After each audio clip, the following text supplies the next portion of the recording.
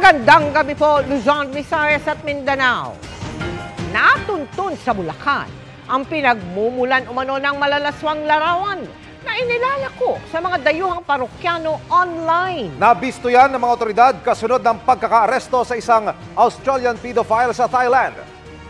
Ang nakapanulumo mismong pamangkin at kapitbahay na edad 6 at siyam na taong gulang lang ang biniktima ng suspect. Narito ang pagtutok ni John Consulta. Sa bisa ng search at cyber warrant, pinasok ng mga tauhan ng NBI Human Trafficking Division ang bahay na ito sa Baliwag, Bulacan.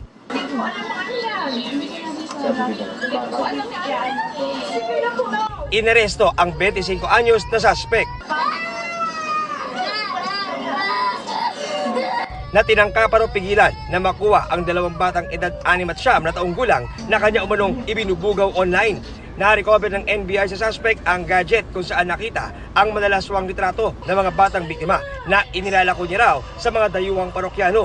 Ayon sa NBI, ipinasa ng Australian counterparts nila ang illegal na aktibidad ng suspect matapos mahuli ang isang Australian pedophile sa Thailand na may hawak na sisam o child sexual abuse material na galing Pilipinas. Dalawa yung batang biktima dito, isa yung pamangkin at isang kapitbahay. Kapag wala yung auntie na ano, uh, yung subject natin, ang ginagawa niya, doon niya kinukunan ng malalaswang uh, larawan or video yung kanyang pamangkin. O merong mga nakuhang sex toys in possession dun sa uh, kwarto ng subject. Hindi na tumanggi ang suspect sa alegasyon. Yung kinalat po yung mga picture ng mga bata. Pasensya na po sa kanagawa ko.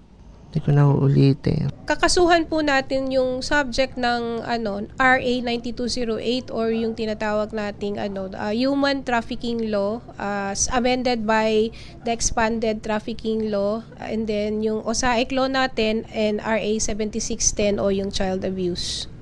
Na-inquest na ang suspect sa patong-patong na reklamo at nakadakda ng dalhin sa detention facility ng NBI sa loob ng New Bilibid Prison. Para sa GMA Integrated News, John Consulta, nakatutok 24 oras.